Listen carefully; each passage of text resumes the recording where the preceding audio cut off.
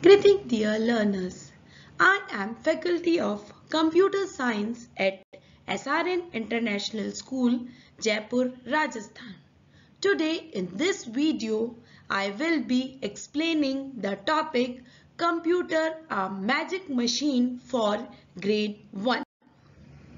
Topics covered in this video are Introduction to Computer, Natural Things, Man-made Things, What is a Machine, Different types of machine and characteristics of a computer.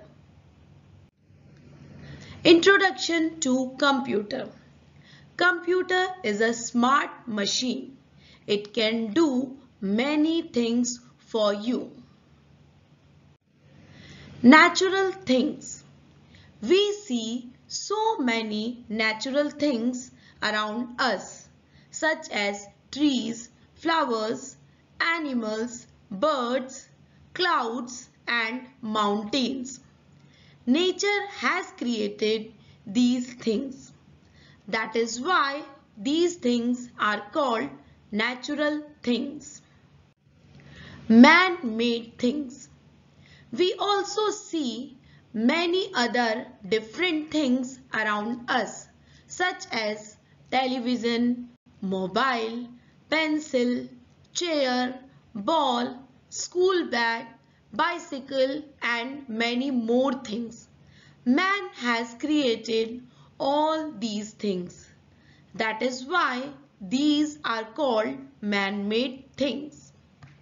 What is a machine? A machine is a man-made device that makes our work easy.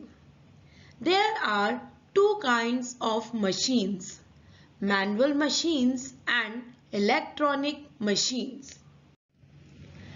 Manual machines are run by men.